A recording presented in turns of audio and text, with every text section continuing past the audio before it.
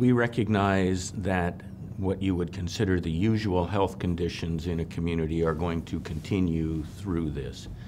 And so we need to make sure we have facilities available for those individuals and as much as we can, as David said, do our best to protect our staff because if we don't have staff, we don't we can't care for patients. So part of our protocol is going to be and is trying to figure out who really needs to be seen and who can continue to monitor themselves at home.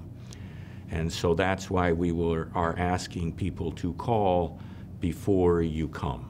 And we will, as Dave, like David, we will try to figure out who really needs seen and who doesn't immediately, and, but err on the side of caution for that. We're not trying to turn people away.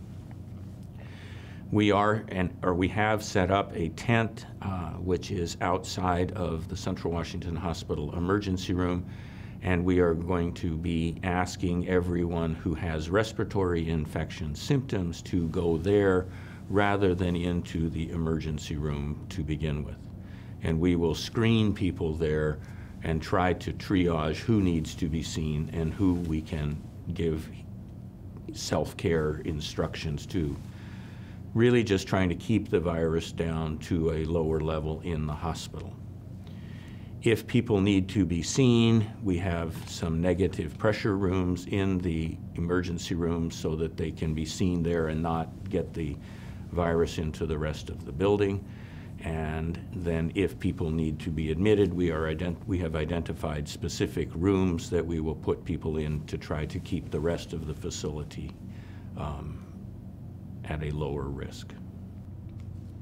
Can you talk about the case that you're looking at now that is under testing for COVID 19 and when it came to your attention?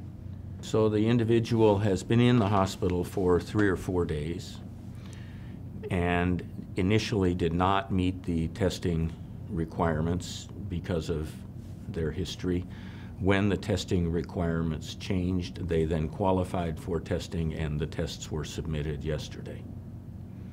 And in the meantime, how do you approach that patient's case?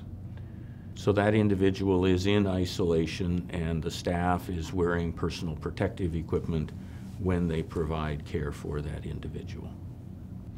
In other cases, uh, in cases that so far have been detected in Washington, the epicenter has been assisted care or uh, care facilities. And the people who have been now submitted for testing or asked to go into quarantine, many of them have been first responders or healthcare workers.